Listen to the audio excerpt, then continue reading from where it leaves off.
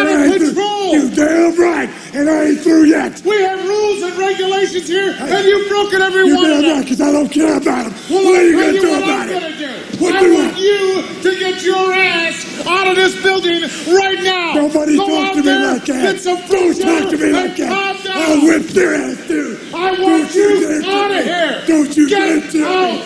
I'm rather Get get out. I'm cutting you a damn break.